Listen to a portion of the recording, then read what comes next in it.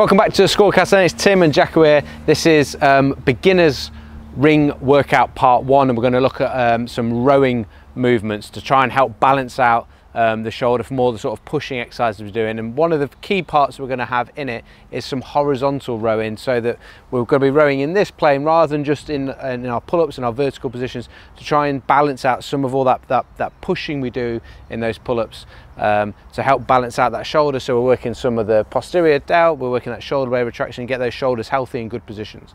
One thing I love about the rings, guys, is we can literally take them anywhere. If you've got something to hang them from, you're, you're good to go. You've got a full body workout for what 15, 20 quid these will cost. So we get to use these outside today, the sun's shining, and that's always a priority for us. But we still use these in the gym. So if you can get a set, you've got loads of options for your pulling work. We do so much pushing. These were a great solution to make sure we've got balance in our training program. Yeah. So follow along. We've got five exercises for you. Let's get into the lesson now.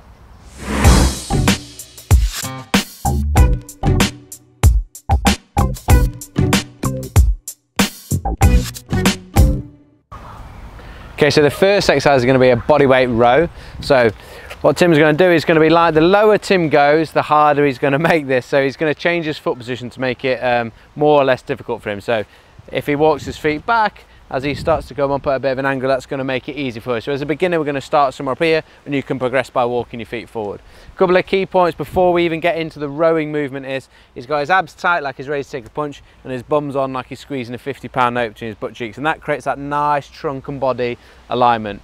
From there, he's going to try and set the shoulder. So he's going to squeeze the shoulder blades back. Imagine he's pinching a pound coin between his shoulder blades whilst not losing midsection. So he's not going to just squeeze the shoulders back and create a, uh, an arch in that lower back. He's going to make sure he's keeping that core and glute engagement together. So he squeezes pound core into his shoulder blades, and then his job is to try and drive the elbow back behind him. That's going to move him towards his hand. So the job is not to bring your hand to your chest, it's drive your elbow back to your side, and that is then keeping the head of that humerus or the, your shoulder in a nice position rather than it coming forward. If we try, him shows us a bad one, if he tries to just pull his hand towards his shoulder, you're encouraging, you're telling yourself to bring that shoulder forward, which is what the position we don't want to get into.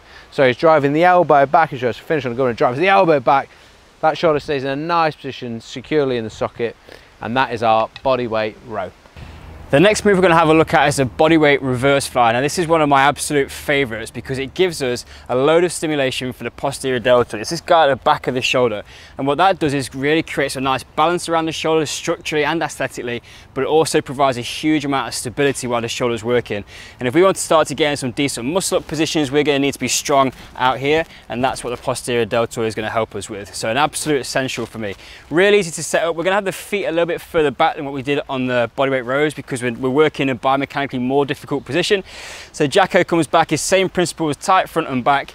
He's then just going to keep the hands and thumbs facing up and he's gonna, just going to squeeze that pound core in between his shoulder blades and come out as if he's going to make an, a T position, nice and tight in that midsection here and then just lowers back under control. That's the one thing that I see done really badly with these is people just pull up pretty well and then collapse and we never really get that eccentric component. We don't train that deceleration and that's a really important function of what we want this stabilizing shoulder musculature to do. Nice and easy, drop them back in, great exercise, get them in your program. Next up, we start to bring those two exercises together in what we call an archer bodyweight row or an archer row using the ring. So Tim's gonna, all the same cues, so shoulders are engaged at the back, squeezing the pound coin, core and bums on to keep that alignment and then one side is going to row with and the other side is going to take out into that sort of reverse fly position.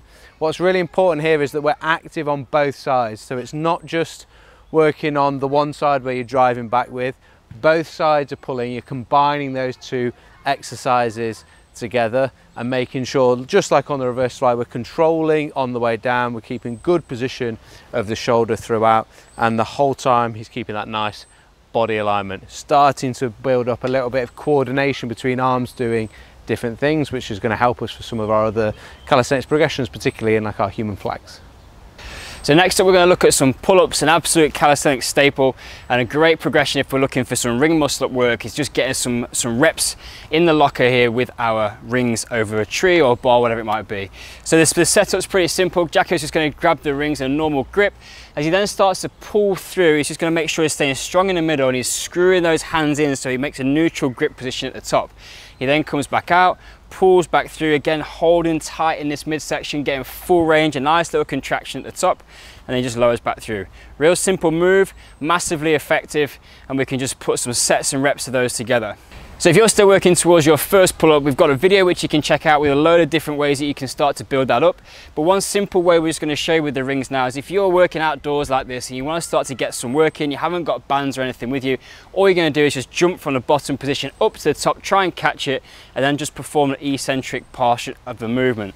So you're just gonna lower through, just training that deceleration, that's gonna build some more global strength in the muscle, and that's gonna help you then to start to work towards the actual pulling through the full movement as well.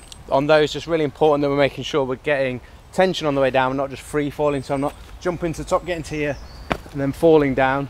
Um, and it could even tag some of those onto the end of you. You might do six pull-ups, then you might chuck on four eccentrics to make up your 10 if that's the sort of rep ranges you're trying to hit. Perfect. Okay, then the final exercise is a little bit like that progression with the archer row, but it's going to be in the pull-up position. So it's a nice little progression for those that want to eventually get on to any uh, single arm pull-up type of work. So Tim's going to do the exact same thing as in the pull-up. So he sets down, he sets the shoulders first, so he screws them in, pinching pound corners and shoulder blades, and then he's driving up but taking the arm out to the side, and then he comes back down. So he's pulling on one side, and he's driving the arm out on the other, trying to keep that control the whole time. Big thing on this is just because taking that arm out to the side, don't think that, that that arm isn't doing anything. They're both working as hard as each other, trying to keep you in control as much as possible. A nice variation for you that are pull-ups fine, pull-ups easy, chuck some archer pull-ups into your program. You'll soon find that you don't need to grab that weighted vest or weighted, um, or weighted belt to make your pull-ups harder might just finally rotate a bit if you bar, if you branch it straight. yeah. Don't worry about that. So if you've got a set of rings, guys, and you've got a few exercises which you can use, you can really get a great workout. The pulling strength is such an important part of calisthenics, and there's five exercises. You can make those more difficult by changing foot position or adding a load, but for most of those, actually, just putting some volume in is a really good way to start to get some progression. Yeah, if you haven't yet subscribed, make sure you click that up there. If you haven't got a free beginner's guide, and those that are watching this that are beginners and you haven't got it, you need to get that's down there. That's free, it's gonna give you everything you need to get started. And then finally, if you haven't seen one of our other lessons, that's up there. Until next time guys, class dismissed.